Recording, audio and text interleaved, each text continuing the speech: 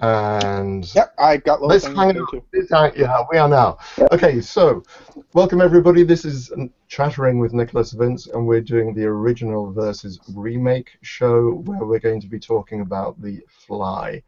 Um, and I am joined by some wonderful gentlemen who I will introduce you to in a few moments. Uh, before I do, I just want to give you some news and stuff I've been up to and what I'm going to be doing on the show for the rest of March. Okay, so there's no show next weekend because I'm going to be appearing live uh, as the MC for a thing called Screen Rebels. I'll put the link up and I'll put it up on Facebook uh, fairly soon, soon after this show finishes. Um, Screen Rebels is great. What the guys do is they get readings of uh, unmade short films. Um, it's great for the actors and it's great for the audience. It, the last time I was there, I've been to one of these um, and really, really enjoyed it. And there's some real writing and acting talent going on there. It was very interesting. So next weekend there'll be no show, but um, you, you're in London and want to come along and meet me and say hello and watch these guys uh, do stuff. It was really quite crowded. At least 60 or 70 people there um, the last time. So get there early, and that's 6:30, and I'll put the details up.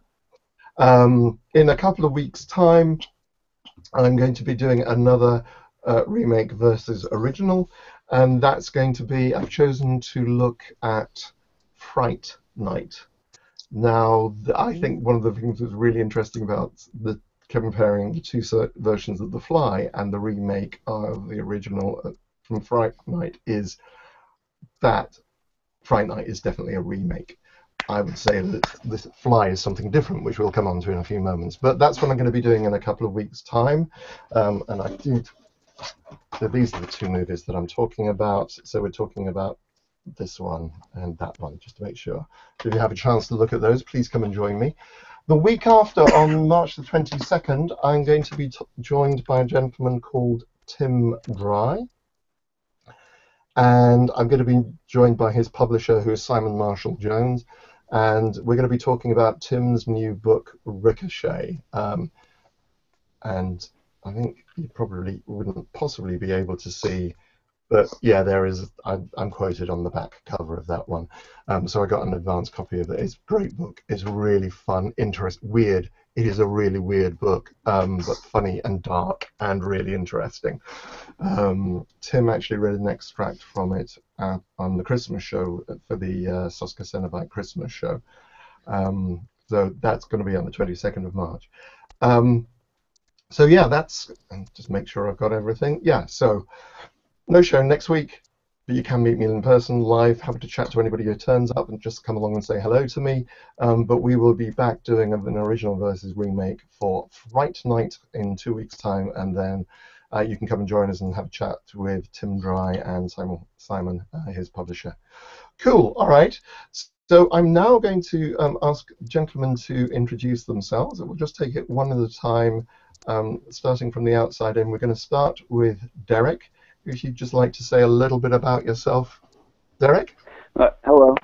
Hello, my name is Derek. Uh, uh, again, I uh, live uh, in uh, Kansas in the United States, 38 years old, and uh, working really hard uh, and taking care of my family. Brilliant. Thank you very much indeed, Derek. You've joined us before. Thank you. Nice to have you aboard again. And this is Don. Hi everybody, I'm uh, I'm Don. I'm a musician from up here in Canada, and between that and being a horror movie connoisseur, that's pretty much my uh, my ins and outs. That's what I do. Cool. That's excellent. Thank you for jo- joining us. It's great to meet you, Don. It's definitely a pleasure, sir. Cool. What's your Jonathan. pleasure? Jonathan, we had to get a Hellraiser quote in here somewhere. Um, Jonathan, Uh, Jonathan, hi. You know, uh, just, just can't stop saying my name. Uh, my name's uh, Jonathan Hughes. I'm a uh, was a cinema cinema projectionist for eight years. Uh, now I work as a warehouse employee. I spend way too much time on Xbox playing Destiny or um, Halo Master Chief Collection, and also watching movies. And I've also written my first short, which I'm hoping to get uh, sorted by the, the year as well. So, Okay, cool. Congratulations. Well, I look- look forward to hearing more about that. And thank you very much again for your contribution to the Susquehanna Valentine. That Yeah. was a that was, That was a epic. great That was an epic. That was that was great fun. Um, and lastly, uh, we're joined by Steve. Hi, Steve. Would you like to introduce yourself? Hi, I'm uh, Steve Zarepsky. I work at Goodwill here in uh, Chatham, Ontario, and I watch horror movies and play video games in my spare time, pretty much. Cool. All right then, Steve. Well, thank you very much indeed. So, um, so what we're talking about today are the two versions of The Fly. Can I just ask something of all of you before I, I come to you individually, and I, I, I want to get feedback from all of you. Has anyone had anyone actually read the short story of The Fly? I have not. No. No. Okay. No, Um, not yet. Okay. Not me, no. Uh, no, I. Uh, it was originally published in Playboy magazine. Um, How did I miss Uh, it? you probably weren't. To be honest, you weren't born. Um, I suspect because it, I, I think it was 57. It was actually published Oh, because the film came out in 58, and they reckon that they went into production on uh, The Fly, the 1958 version with Vincent Price, pretty soon after the short story came out. Um, it was picked up by Really? 20th Century Fox. I came across it in a uh, a collection of short stories sometime in the 1960s. I probably would have been about 10, 12, something like that. It's a short, short story. It's really, in- it's very interesting. What it's particularly notable about it is the fact that the film, the first film, really follows the short story in many details, including quoting lines. Quite a few of the lines in the speeches.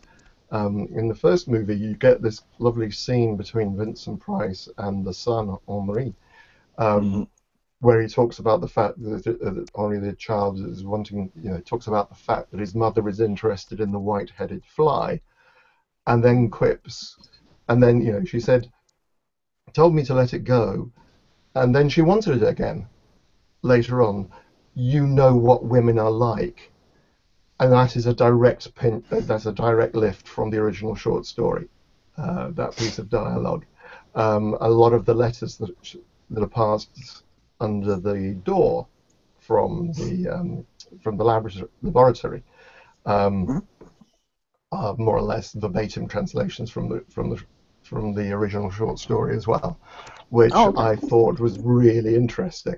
Um, so I know not everyone's had a chance to have a look at it, but those of you who have had a look at the uh, original, what do we, what do you, what do you like particularly about the first one? Don, I'll start with you first, if I may. What do you particularly like about the first?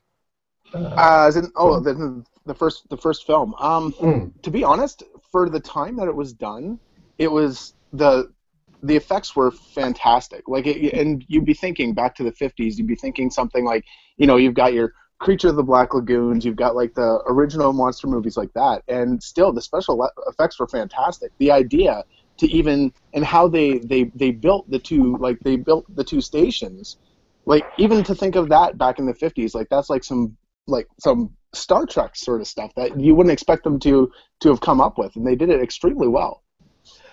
I, I, I particularly like the effects of when they're again the whole thing about putting the glasses on is directly from the story. Yeah. What I particularly liked though, and I don't think it's in the original sh- story, is that when um, uh, Elena, the uh, Helene, the wife, uh, invites the Vincent Price character to go downstairs to see the most recent invention. The first thing he says, "Oh, what is it? Is it flat screen?" And, and I Yeah. just, and I just thought that was so extra. It's just like, oh wow, they were thinking about flat screens in the 1950s because of course they were they were talking about um, Wow. um, you know something that, that uh, was really quite modern. You know, the CRT um, cathode ray tubes in those days um, is like that. Steve, you've seen the first movie. What do you think of the first movie? I like the uh, thing with the how they did the matter transporter effects. I'm still trying to figure out how they did that, and I love Vincent Price. Uh, great performance. It, it, it is a great performance. I think one of the things I particularly like, and if you I put a link to the um, short story um, on the uh, on this event, and I'll make sure it's it's still there when we finished.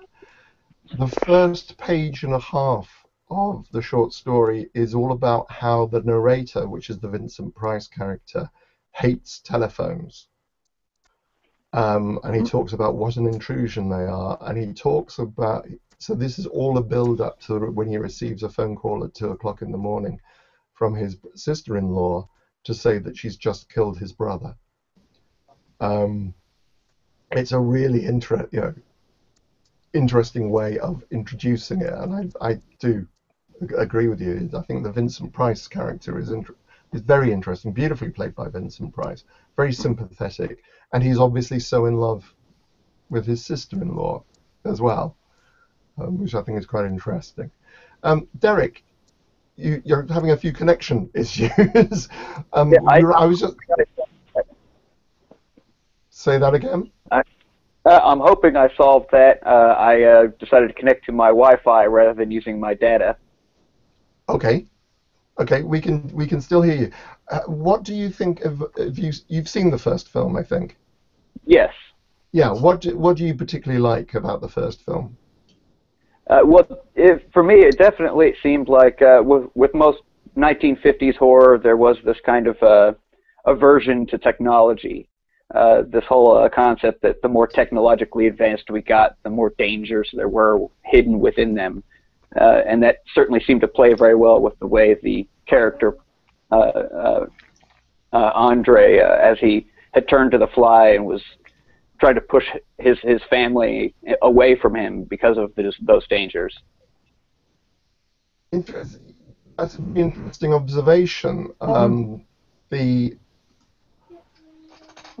yes, because I think one of the things that is made noticeable in the um, DVD uh, in the Blu-ray extras uh, on the first movie is the fact that, of course, the, not that long after the Second World War and the introduction of the atom bomb. In fact, the poster for the um, first movie emphasizes the fact that this is all the result of an atomic mutation. Um, the first time that the you know the effects of an atomic mutation have been shown on a human being is one of the um, uh, is, is one of the things that they really pushed at that time. I also love the tagline for the first movie, which was, see if I can get it right. He was once human, even and even as you and I, um, which I thought was beautifully poetic for a tagline for the time. Uh, we've just been joined um, by Eric, I think. I can't see him. Are you there, Eric? No, he's he's sounding. He may just be It's got a really cool logo. He's got a great. He's Yeah. got, yeah. Would would make a cool tattoo. I, I admit. yeah, it would make a very very That cool be good. tattoo. Cool. Ki- It kind of reminds me of the of the Mentors logo with their with their, their little hats that they wear. cool. All right. So, do, do, does anybody have any other thoughts? I've asked you what you liked about the first movie. Uh, And anybody have, have any other thoughts about the first movie? The one thing that really really caught me about the fir- about the first film, and I think probably everybody has the, the the who's seen it has the same.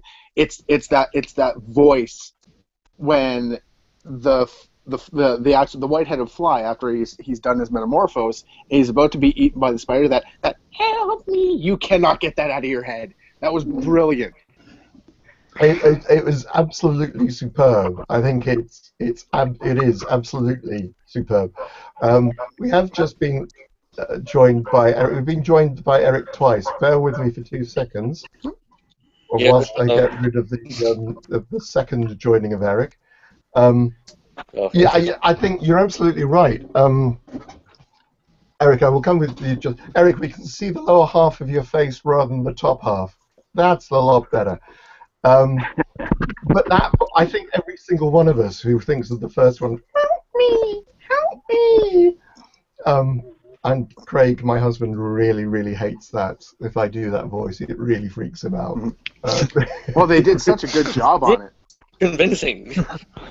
And Mhm. it, again, the effects. I think we were talking earlier on about the effect. I mean, the great thing about the Fly in the first one is I think it's David Hedison's the way he manages to make the arm of the Fly as if it is something else that is trying to take over him. There's a lot Yeah. to do with that performance. A lot of the time, you actually don't see the the creature, or you see, you know that there's something wrong because he's covered his face. And he keeps st- he keeps like shoving his hand in his pocket so he doesn't come out with a little claw thing. Yes, yeah, and then plays that really nice where the claw thing is trying to grab, and he has to grab it to try and shove it back, and uh, you know because it seems to be stopping him trying to write on the wall to write messages and somehow Mhm. subsuming the humanity of it. Um, No, that was that was fantastic. yeah, yeah, but also I think the great thing is it's very it's because it's done it's shot in that dark lab. You only see the head in shadow and darkness. Um, Mhm. That's partly what makes it effective. But you do get the, the idea that there's some sort of mandible coming out of the, you know, that's breathing. You can feel that, and that really Mhm. cool shot of his wife is seen through the eyes of a fly. With. The multi, with the multi-lens um, effect when she screams. So you get the effect of her screaming, and then you n- cut to the shot of the fly's view of all these different of the of the repeated images of her screaming, which just uh, emphasizes the effect. hmm Now, our friend Eric, I think, is having problems, and I'm just going to see if I can mute him for a for a moment whilst he moves around and sorts out his uh, his him, himself. Um, hopefully, he'll come back in a few moments. Um, so we talked. I think, as I say, I love the relationship between Vincent Price and the boy. I think the boy does. he's a kid actor.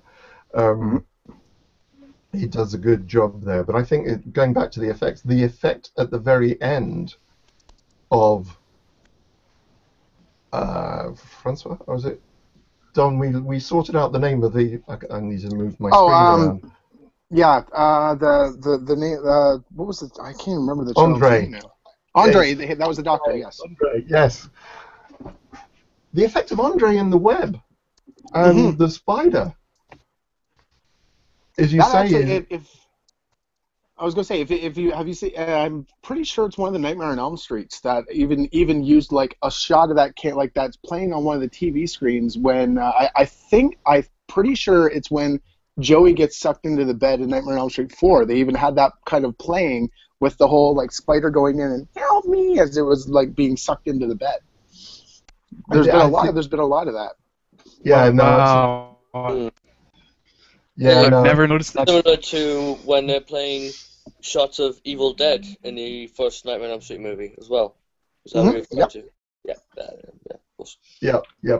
I'm just going to introduce Eric. I'm just going to take a pause for a moment because Eric Rose has joined us. I'm also just going to. Eric, do come and introduce yourself. I'm also going to try and introduce somebody else to the film strip uh, who's just messaged me. So please introduce yourself, Eric. He's muted. Yeah, I see him Yes. muted. Yeah. Okay. Eric, do you want to try unmuting yourself? How's There that? Good. You. Sorry about the. Oh Christ. Yes.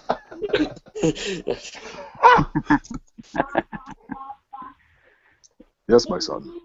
Uh, sorry, he's disappeared again. Cool. All right. Well, we're trying. And, and Tori, Mystic of the Mist. I'm sorry. I have just tried to invite you, but I'm not quite. You're you're not coming up on my list of people I can invite. Um, but I am trying to get you onto the show. Okay. Um, Eric, I'm hoping we'll come back in a few moments, and this time not muted. Um, cool. Any other thoughts on the original version of The Fly? The one thing that really creeped me out was the slurping sounds that, that Andre made as he was feeding every time his wife brought him meals. Yeah. The, the rum laced milk. Yes. A bowl of milk laced with rum. Where's the rum gone? and and I found that he's obviously thought this through because he's thinking, I need a drink. I need a really good, strong drink at this point in my life. Do you blame him? But, but there's no way a fly. Fly, you might as well um, get a few beers in while he's at it, you know. Yeah, no, absolutely. But there's no way a fly is going to want to drink rum, but would probably take milk.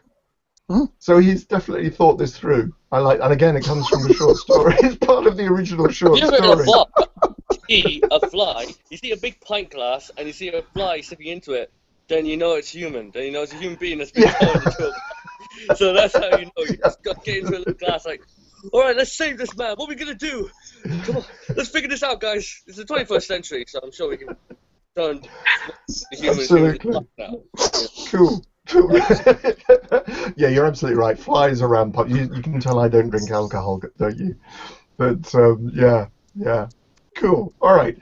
So I think, I mean, as a, apart from the, I think the, the Technical other, issues. yeah, no, I think.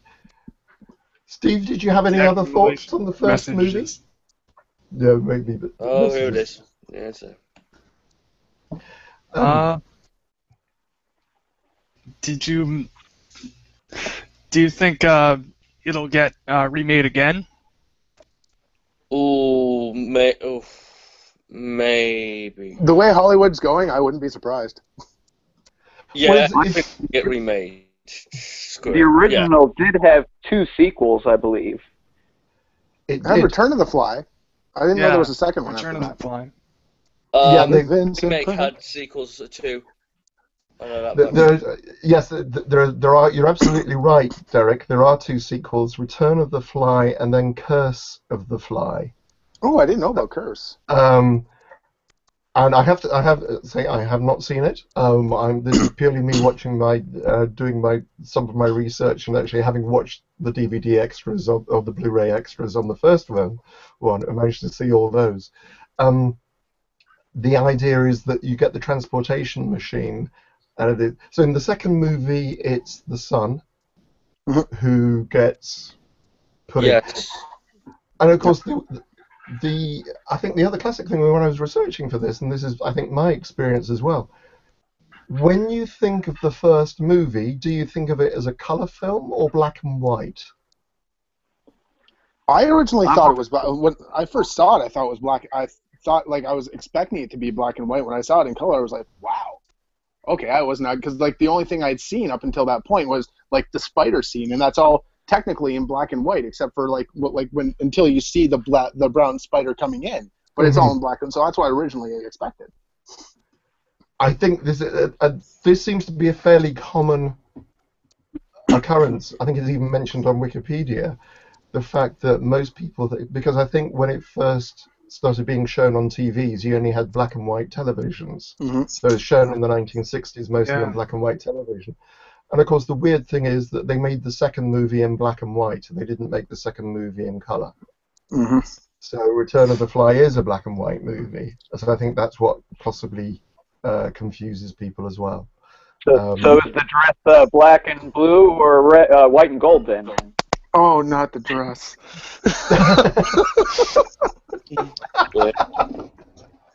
Helen Keller said it best. The dress is black. Everything is black. That's it.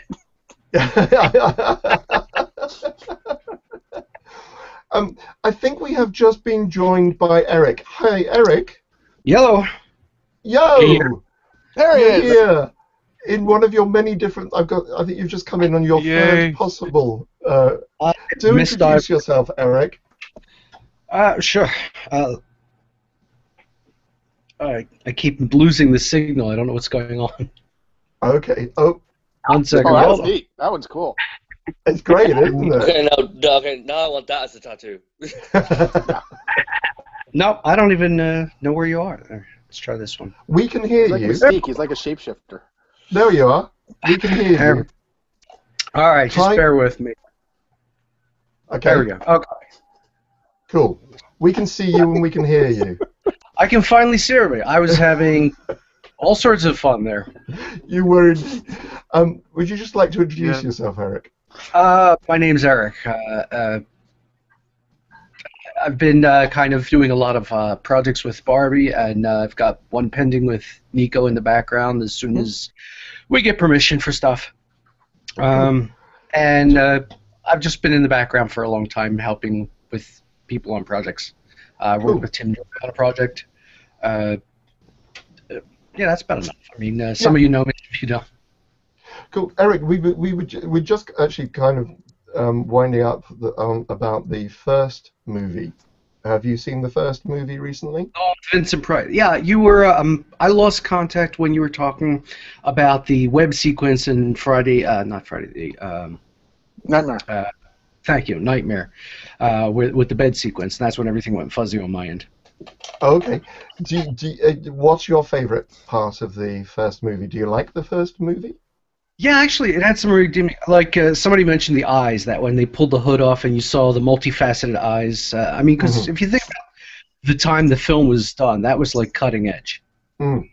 So Mm. by those by those days and uh, what you said about everything being the nuclear area just about happening, and this was uh, just after World War II, I think, when the film was made. Uh, Yeah, it's ten years after. Yeah. 10 years after. So everybody went from that and going straight into the Cold War, I think. Yeah. So it was I mean- uh, the fear of one thing to the other. So, um, and they were just hammering out those kind of horror movies left and right. But The Fly was always the best.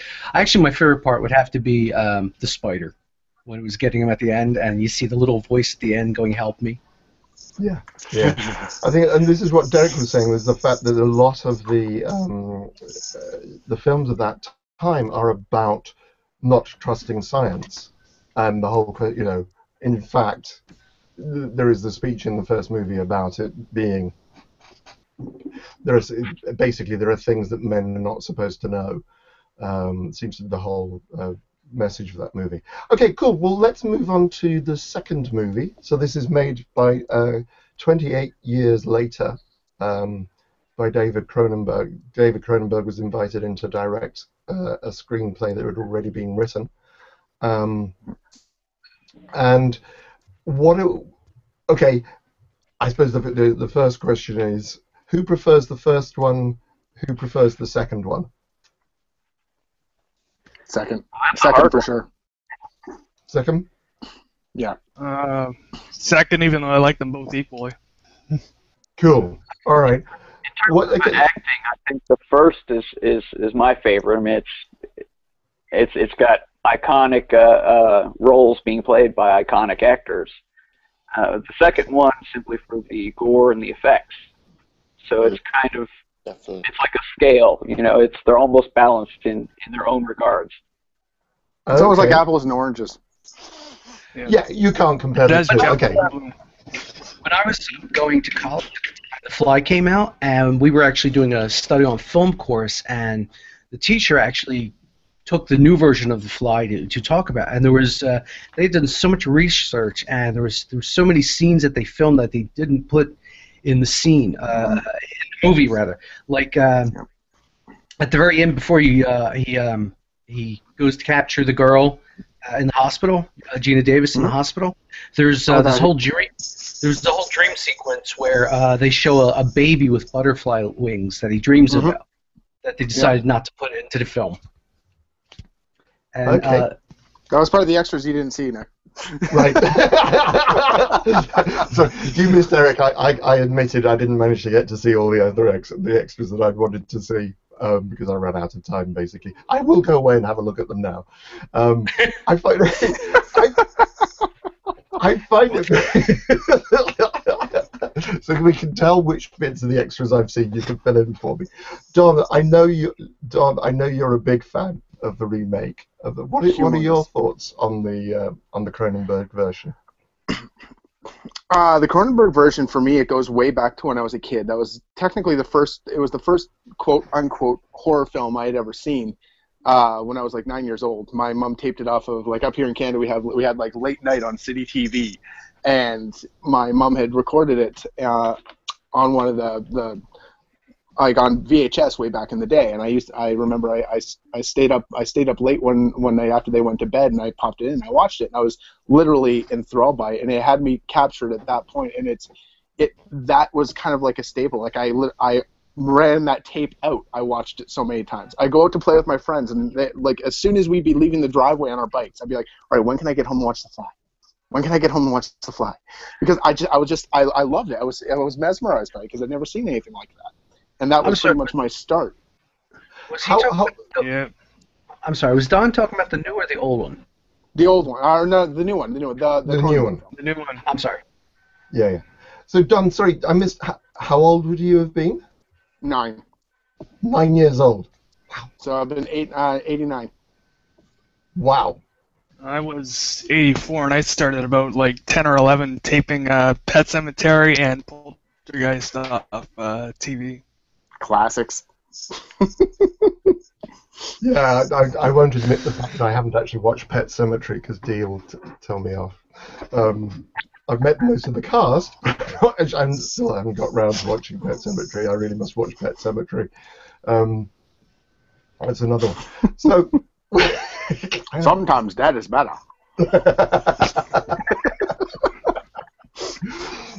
Don, why? Okay, you're nine years old. I'm sorry, at nine years old, you know, I come from a completely different generation than yourself. Obviously, I was literally born in the. I was literally born the year The Fly was made. Um, So what? For as a nine-year-old, why did you what? And we're talking about the Cronenberg one here. Mhm. Why? Why? Why do you think you were so, so fascinated with it? Because like up up until then like a lot of the movies that i used to watch uh, when i was a kid like you know you have you've got your you know a lot of the ones that i watched when i was that age you had your star wars films and everything else and and like i had you know star wars was the big one for me the um like you know like harry and the hendersons like a lot of those original 80s movies were like big films for me when i was a kid and when i saw the fly it was it was unlike any, like especially the effects and the storyline alone it was unlike anything i'd ever seen plus two for some strange reason i had a nine year old crush on geena davis i still don't understand where that came from but at the same time i, I think that might have been technically almost like a, a a tie-in to why I enjoyed it as much as I did, but it was just it was something completely different. I'd never seen anything like that. The like even Star Wars, like the the technology that they used in Star Wars, versus you know what you see like yeah you you'd seen like you know the pod that that type of stuff in the Star Wars films but like again when you get into the gore effects of it especially when he sends the chimp through the first time and you got that like the sounds that they even used to make that thing like squirm on the plate like that it, I I'd never seen it before. It was like wow dude that's awesome! And my mom thought it was morbid. It was hilarious and I've been like that ever since. Oh, is it? I, I'm fascinated by that. I, I, I really am interested in that because I think kids are interested in death. They are interested in gross out things, uh, particularly. And I, I guess if that's, you know, if you're introduced to it in a safe environment, and so I know I've met nine-year-olds who've watched Hellraiser. They're big fans of Chatterer. Um, Yeah. I'm not, you know, uh, denigrating anyone's parents. Derek, what do you?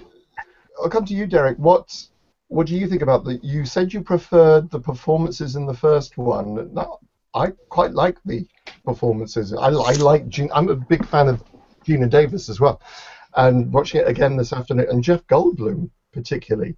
Though I have to say, sorry, Derek, uh, there's one thought whilst. Jeff Goldblum is channeling David Cronenberg, in particularly in that first. When I watched it again this afternoon, this morning rather, the he's Cronenberg from Nightbreed, as far as I'm concerned.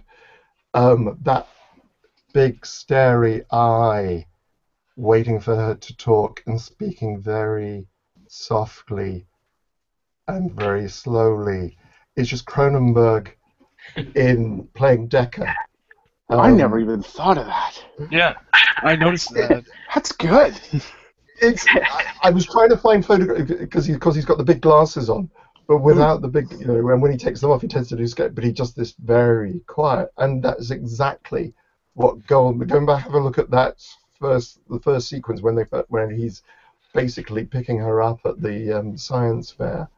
Um, he's channeling Cronenberg. He completely channeling Cronenberg, as far as I'm concerned. no, Derek, sorry, I was Working on asking something you. that'll change the world and life as we know it I know it like the back of my hand. I'm telling you.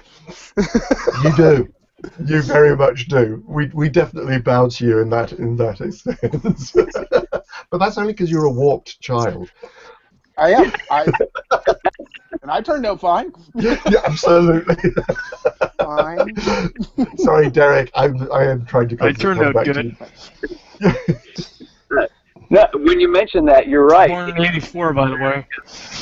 Cronenberg-esque uh, performance. Uh, uh, and no disrespect to Geena Davis, she did a great job in her role as well. Uh, but they were following performances of other, e- even though the roles are different. Uh, instead of being uh, wife and husband, it's, it's a man and his his his lover. There, there's a whole different dynamic to the characters. But for me, the the, the, remake was definitely about the the effect. I loved the uh, the ability to see the transformation uh, of uh, Goldblum's character from human to fly to what he called the Brundle fly. You didn't see that transformation in the original. It was it, you didn't get to see it happen. Yeah. And I liked the slow conversion period. But they tried to change the story a little bit, update it. Uh, in the original version, it's like a fly got in and he, uh, they exchanged parts. But in the new version, what they said is it spliced him on a genetic level, and what you're watching was he was slowly becoming. What does he said? The politics of bugs in the movie. Insect politics. Right. Insects don't have politics. He was They're, they're very brutal. He was starting to understand how they think, which became you could see him transforming into he was losing his humanity. he was he was starting to become something else, and uh, at first he was totally resistant to it, and then he began to embrace it, and then he just became insane. Mhm. Yeah. What, what's what's the, what's the original? The, the, the guy who played uh, who played um, and um Andre, he had the exact same thing, and and it was a di- it was differently written, but it, it was still kind of the same because he showed the exact same thing as when he first had it happen. He was able to type everything fine and send her the notes under the door. And afterwards, when he, he was like sitting there trying to write "love you" on the board, like he had his other hand grasping him and trying to stop him from doing it, yet he was still trying to express himself. And that I think that's what Cronen the the twist Cronenberg put on the new one was instead of showing that, we'll actually show the the visual degradation of from human to fly, and how it actually destroyed you know Brundle and became this Brundle fly. Yeah, the, the, that's has always been the, the phrase that I remember. Although obviously, and I, I wrote it in the um, in, when the post for this for this show. The, the two classic lines from the two classic movies are "Help me" and "No, be afraid, be very afraid." I remember sitting in the cinema and watching that and just going, "Whoa, whoa, you know, where are we Mhm. going with this?" Um, and yeah, it, it, it, it's absolutely extraordinary the, what they managed to achieve in the 19 uh, uh, in the 1980s uh, Mhm. version of it. Um, Jonathan, I know you've you've watched. Oops, uh, you kind of disappeared. Oh, when I clicked on you, you disappeared. You were there. Hi, Jonathan. Right, It's almost like everyone was- seems to be frozen. he he does. It's like a Steve, you're you're still here, aren't you? I think Jonathan was saying that his battery Yeah. was running out. So, sorry, Steve, you were. yeah maybe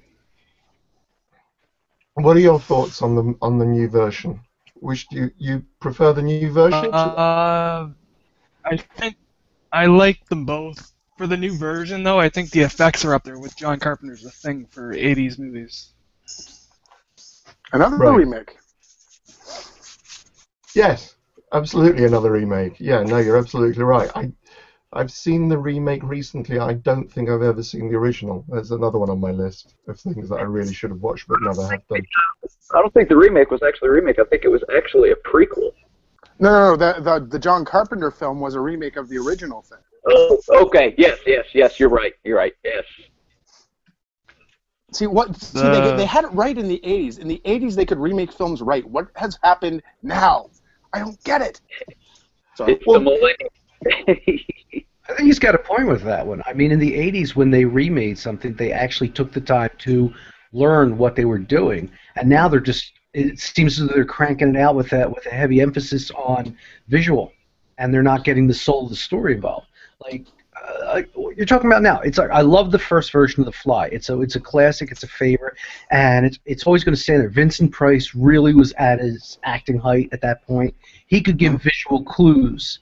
I mean, he was uh, uh, uh, he could walk into a room without saying anything and just Mhm. have a presence go on on the film.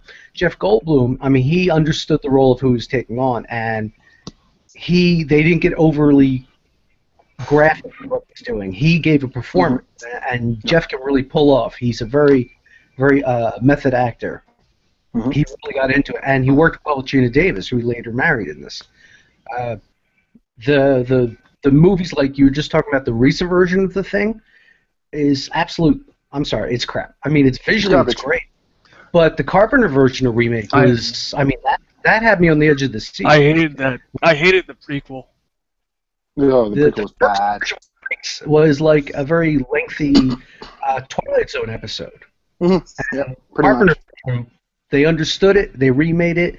They didn't get too crazy. Uh, it's like Aliens. It's like don't show the monster every five seconds. Keep it to those few seconds that it's in there. Mhm. Build up. Uh, it's like the classic with Scarface. It's like let the audience let let their imaginations create for them. Don't dictate what's going on. And, Well, see that that's one of the that's Oh, go ahead. Sorry. no, go ahead. I was gonna say that, that that's the problem with a lot with a lot of these remakes. Like it, Texas Chainsaw Massacre is a prime example of that. You have Texas Chainsaw Massacre, the original. When when you watch it, it's really not all that. There's like not very much gore at all because Tobe Hooper, like you'd see you'd see the door close and then you'd hear the blood curdling scream and he left it up to your imaginations to say this is what's happening. Whereas in the remake, you see it all. It's just like, huh, okay, I got it. Like that that's what they're missing. They're missing that whole you know imagine it yourself aesthetic with like the quick stops stop cutting from one scene to the other and leaving it to your mind to be like oh okay uh, what's what's that's what's going on with that? What the hell's going on there? That's that's what causes that fear and that dread. Whereas when you just show a whole bunch of blood and guts on the screen it's like all right it's cool the way they did that but the whole feeling of what they were originally going for is gone. The terror is gone. The horror is gone I think it comes down to. I- I'm sorry. I think it comes down to like you have. I think you- you're not understanding the term. It's like remake is when you actually embrace the original and try and recreate it without Mhm. varying from the course. But nowadays they're rehashing. It's they're they're throwing a name on it and saying it's uh it's it's a remake of the same thing. Like uh, I saw the uh, the new version of uh, oh what the Evil Dead. That was uh, Yep. Ex- You know what? It's like just because you call it something doesn't mean it's actually qualified as a remake. It's just Yeah. a rehash. They don't have the soul in it. A remake is something where they try to re-envision what was originally intended, and a Mhm. remake is just we're just going to crank it out for the money and throw the same title back on it, and we'll get the original people to look at it. So it's Mhm. more of a marketing than anything else. The, uh, it's interesting because I, I, I, when you the opening credits for Cronenberg's The Fly just references the original story, and it Mhm. says from a story um, by George Langelaan. And you think, yes, it is from a story by George Langelaan. That is, it, it acknowledges the idea, you know, the whole idea of somebody metamorphosing. it is talk. Is, I mean, with these are the films that where the, the term body horror really came into being in the 1980s. As far as you know, The Fly was one of the classics of body horror. Obviously, it's Cronenberg. That's he, this is really what Cronenberg is interested in. A lot of what it, he's interested in. Um, the the other thing that kind of s- struck me about that, and moving on from you know the the debate about, and I think it's a very interesting debate that we've just had. You guys have just been talking about, and which is why I wanted to have a look at Fright Night, which I think is a lot of what you're referring to, um, where they have more or less remade. I think the term reboot is kind of interesting, which is what they've done with uh, Star Trek. Um, taking the original idea and putting it into a slightly different universe. Looking at the same subject, keeping enough of the familiar themes, but looking at it in a very different way. And I think that's very interesting because I really enjoyed the first, uh, the J.J. Abrams uh, Star Trek movies. but coming back to the fly again, one thing I really noticed the difference between the two is a the difference in the style of acting, but also particularly the difference in the music and the way the music is used throughout.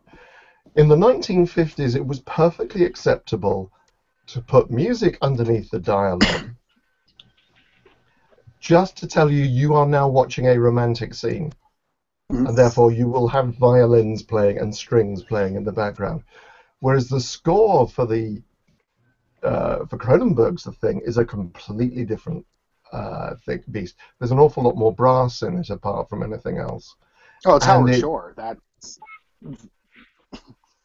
Yeah. Yeah. It's a com- it is, yeah, and, and that's one of the things.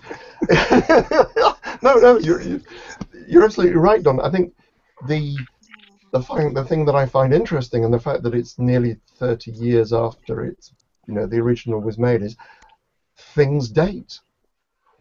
Now we can admire the the, the Fly, and the original version of The flight and enjoy it. And I think it's a wonderful film, and I, I really did enjoy watching it again, and I still find it very moving, as I did the original short story, um, which I mentioned earlier on.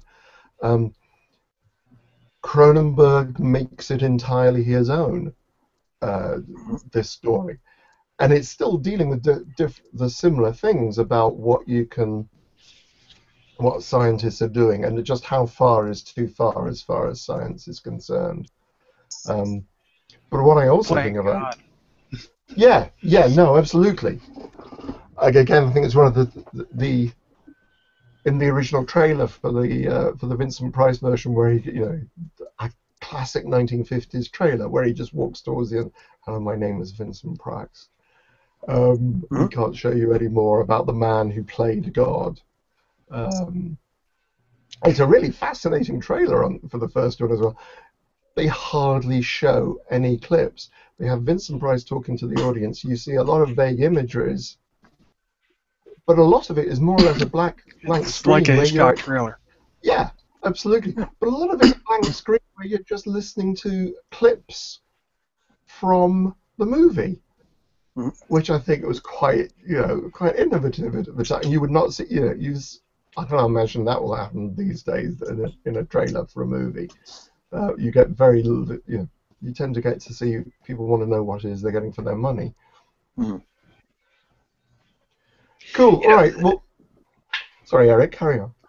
Uh, sorry, I was going to point out, like during that time when they filmed The Fly, they were being innovative where they were actually adding things to the theaters. So like, uh, you'd go to the theater and it was actually almost be like a Rocky Horror Picture where like when something happens, suddenly people would squirt you into to go in times with the theater, or they'd have smells pipe in, and it would just add a whole new uh, ambiance in that. It just kept pushing the genre at the time for them to produce more uh, out of the box movies.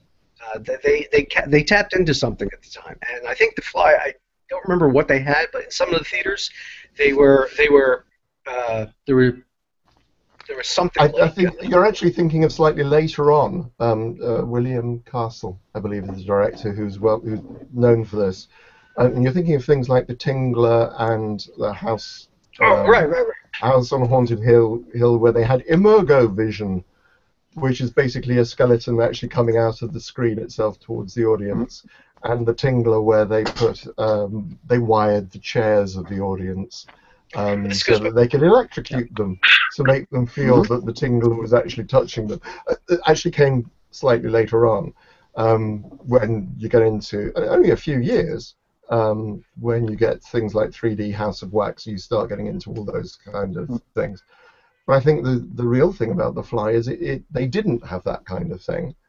It was just a straight movie, and they played it for what it's worth. I think the the strength of both of these is that you get the emotional reason why people are doing things. In the first movie, he's driven because he wants, you know, he, it's the end of world poverty. It's you can move surpluses. There's a really great noble cause here. Goldblum, you think, not quite sure. He's kind of just interested. He's he's the scientist who wants to just finding, you know, insatiable curiosity. but the reason why he goes through the, um, the the pods is because he's jealous. He thinks that the girl's going off with her previous boyfriend, and he's angry. And you know, and he's doing it because he's had too much to drink that night. I really like that Mhm. sequence. Um, Yeah. yeah, they're baboons rather than chimpanzees, by the way. Um, Oh, it was a baboon. It was a baboon. Ah, it was a baboon. For some reason, I thought it was a chimp. Yeah, no, they're, they're, they're beautiful baboons. The most beautiful, Oh, yeah. beautiful baboons. They're really friendly. He obviously spent some time with the baboons Oh, Um, for sure. because they were trained to reach out. Okay, guys, we've probably got about five more minutes, five, ten more minutes for this uh, for this hangout because I'm determined to finish on time for once. Um, any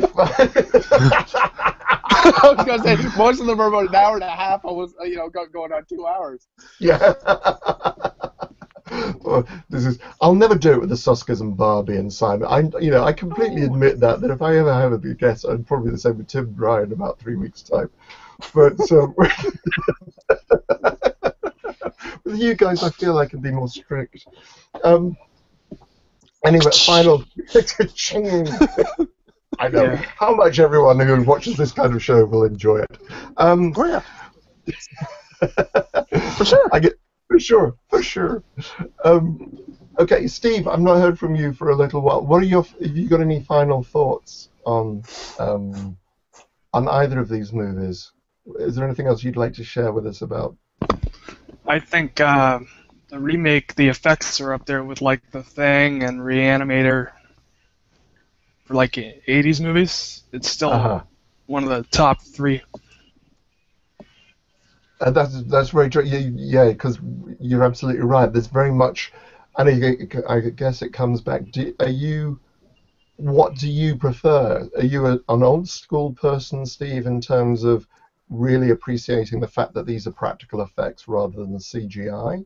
You, I like it. I like it so much better when people build practical effects than CGI. Right. Okay. Cool. Cool. Um, Derek, what are what are what are your final thoughts? Uh, well, definitely, uh, practical effects is always a way to go for me.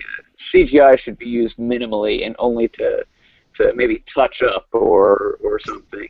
Uh, and as far as uh, the the remake, uh, I do think that Jeff Goldblum's performance in in The Fly is probably one of the only few times I've seen him not do a Jeff Goldblum in his performance. He always has a certain cadence, and in The Fly, it's not there. Right. Cool. That's true. Yeah. That's very true. That's very true. Eric, It's true. Eric, what are your final thoughts? Derek Oh. or Eric? Eric, you. You, sorry. Eric with the glasses. I'm sorry. You've just spoken to Derek. I'm now saying Eric. Okay. Actually, I like the this particular film. Uh, I it's hard to choose which one I like better. They both have their strong points. I think they're both well made. The original's well made. The remake in this case is really well made. Had you chosen something else, it might have been a completely different uh, argument. But I think if you're going to make a remake, if they actually understand what came before and take it upon themselves to actually remake the film and know what was done, I think it could do well. But if they're just going to slap together and hire a director and say, interpret, and he doesn't know the material, I think it's going to fall short every time. You're always going to have somebody say, just throw a visual effect in that, it'll be fine. But if you're going to remake something, be true to it. Mm-hmm. Okay. Cool. All right then. Thank you very much indeed. And Don, last word from you. Last words from me. Um, when it comes to The Fly, the original and the remake, uh, one of the things I really like to go back to with it is is the fact you can you can take it in almost like a music sense. Like you've got bands that do cover songs of other bands, and you have some amazing cover songs and you have some not so amazing cover songs, and it's all about taking that original song, or in this case, the original film, and the director and screenwriter and whatnot, ma- taking that idea and making it their own, putting their own twist on it, and making it that much different. It's it's like perfect example, like when when the band Dope took uh, "You Spin Me Right Round" and remade it into a heavier song. still the same song, but completely rewrote it and completely remade it. And that's what makes a good remake. That's what makes a good, you know, a good reboot to a series is when you take the idea and you make it your own. You don't just quote Nightmare on Elm Street it, where you take the original film and you make shot for shot the original film, but with new technology. Right. It's a tough Right. argument. Hmm? Yeah. It comes down to a tough Yeah. argument, no matter what. Yeah. Okay. Gentlemen, thank you so very much indeed. I really enjoyed this evening. I hope you have as well. It's been very interesting listening to your views. I think, uh, as far as this one is concerned, we like both. I think the general consensus is that we like both these movies. Um, they're very different beasts. Um, we actually really enjoy them both and respect what they've done. Um, it'd be interesting I hope if any of you are able to join me in a couple of weeks' time when we look at Fright Night, because I think those are two very. That is possibly where we're talking about taking the original and just remaking it. Um, Yeah. But it'll be interesting to see if we can find anything in the second, in the most recent version that we actually like about it, uh, and something that we do Yeah. well, you know, that has been done well. so there's my challenge. Can we find something that's been done well in the remake of it? Um, I think it should be. A, hopefully, it should be another interesting conversation. Um, I You might like have to- just as much fun time finding Jimmy Hoffa's body as finding something to do with the remake. I thought they found Jimmy Hoffa's body. I thought they found a garage. He was actually in somebody's. It was. I thought they found Jimmy Hoffa's body. Um, I just want to thank Jonathan Hughes, Eric Gross, Derek Neal, Don Pettit, Steve Zabreski for joining me this evening, it, and for those of you who've been actually watching. Um, and you who go. watched You got on. the name right. Say again, Steve. I said you got the name right. I got the. Thank you. Yeah. I don't try. Those long Polish names. It's a long road. It's a great, but I like that the, this name. Um, hopefully, you guys will join me if you're in London, on my part of the world. Live, I am in person live at Screen Rebels. I will be put on Sunday evening at this time, um, and where I am MC for Screen Rebels. Uh, the following week, we're going to be talking. I'm going to be talking. Hopefully, people will come join me, and we'll discuss Fright Night and perhaps ripping it to pieces. The remake. I well, we'll see what people think about those. The following week, I'm joined by Tim Dry and his publisher Simon Marshall Jones, and um, we're going to be talking about his new book Ricochet. Everybody, thank you very much indeed for coming along and joining us. I hope you enjoyed this, and it's been an excuse to go and look at these. Well, actually, it turned out to be two very, very good movies. Uh, we do recommend them. The, the thought is that we recommend both these movies. Good night, gentlemen. And Thank you for uh, having me. speak to- Thank you very Bye. much. Thank you for having us. Thank you very much.